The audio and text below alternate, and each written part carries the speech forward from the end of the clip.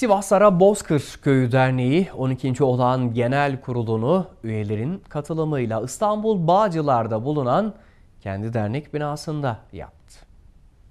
Saygı duruşu ve istiklal marşının ardından genel kurul başladı. Divan Başkanlığı'nı Ufuk Rufai Şimşek, yazman olarak Hasip Yıldırım ve Güven Çoker seçildi. Kabul edenler, etmeyenler kabul edilmiştir. Sizlerden yeni yönetim kurullarını böyle coşkulu bir alkışla alkışlamanızı rica ediyorum. Mehmet Bağca tekrardan görev ederken Sivas'ta Bozkırköy Dernek Başkanı seçildi. Seçim sonrası açıklamalarda bulunan Divan Başkanı Ufuk Rufai Şimşek yönetime teşekkür etti. Genel kurul hepimize, ülkemize, milletimize, kazamıza, köyümüze hayırlı uğurlu olsun. Allah yeni yönetimi utandırmasın. Onların yar ve yardımcısı olsun. Bizler de her türlü destekle onların yanında olacağız.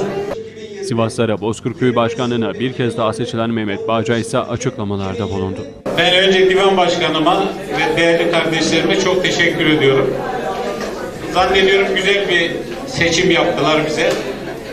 Örnek bir seçim yapıldı hakikaten. Ee, Ondan dolayı çok teşekkür ediyoruz sizler adına. Yine bugün genel kurulumuza katılan herkese ayrı ayrı teşekkür ediyorum. Allah hepinizden razı olsun. Bizleri hiçbir zaman yalnız bırakmayın.